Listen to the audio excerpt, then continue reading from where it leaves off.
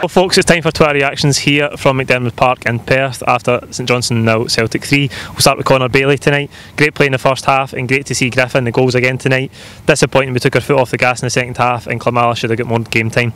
I thought in the first half we were absolutely superb tonight. For the minute one, we played at such a brilliant speed. That's that's it. That's what you come to see. That's why you drive to Perth on a Wednesday night in the pissing rain because that was superb in the first half. I thought real attack, real attack and intent to the team. Two up front again. Everybody was delighted with the team selection before the game. Three five two. The link up between Edouard and Griffiths for the first goal was top class. Out to Forrest, great ball in. Wonderful header from Ntcham. That's not like him. And then I just thought for that 25 minute period, where we got the three goals, we were absolutely untouchable. I thought we played some great stuff. The interlinking all over the park was superb. Okay, we took our foot off the gas after that. Um, it would have been good to see Klimala a little bit earlier, but hey ho, we can't complain. Three points, that's what we came here for. And the first half showing was absolutely terrific. Bobby Paul, job done. Uh, next, half the sport uh, are greeting. Job done is all you want. On to the next one from now until the end. Aye, listen, a game of two halves, you can say that tonight. Superb the first half, foot off the gas in the second. That's natural, you see that a lot um, when a team races into a three goal lead. There can be a drop off subconsciously you know the game's probably done, especially against St Johnstone, who have been struggling. Um, we know we can coast the rest of the game. That's natural it can happen, but listen, three points on to the next one.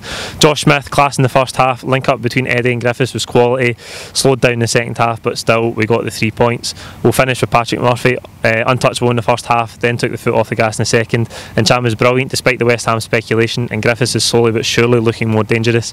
Just a, sh- a shame that Klimala couldn't go on earlier. Uh, we buy players and then take ages to get them into the side. I, I think everybody can see the link up between Edouard and Griffiths is coming. it's it's re- looked really sharp at times. Okay, there was there was a drop off after the third goal, but it's really promising. I think when we played three five two once or twice in the first half of the season, it didn't really look great. I think the twice we've used it so far after the break, we've looked absolutely superb.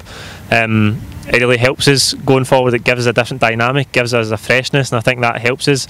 We're in the four two three one. We're very very used to playing that, and it can sometimes be predictable. I think playing two up gives us a lot more variety in the play, and I think I think it really does work. Um, it would have been nice to see Klimala earlier. The Ntcham speculation going to West Ham. I don't know how much there is in it. It kind of came out of nowhere today.